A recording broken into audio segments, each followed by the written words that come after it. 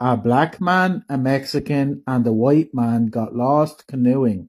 They reached an island ruled by terrorists. The head terrorist says, let's kill them all. However, after seeing the white man, the head terrorist had a proposal. The head terrorist says, if the combined length of each of your penises measures one foot, I will set you all free. The black man's penis measured six inches.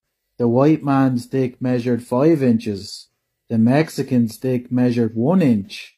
The men were set free. While trying to navigate their way home, the black man said, You guys are lucky I had six inches. The white man said, You guys are lucky I'm white and they gave us a chance to survive. The Mexican man smiles and says, You guys are lucky I had a boner.